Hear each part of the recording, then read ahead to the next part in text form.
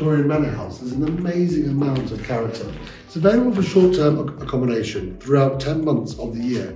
It's conveniently located in this leafy Surrey suburb of Windlesham, which is approximately 20 minutes away from both Heathrow and Farnborough Airport. It provides easy access into London and is ideal for high-end short-term accommodation.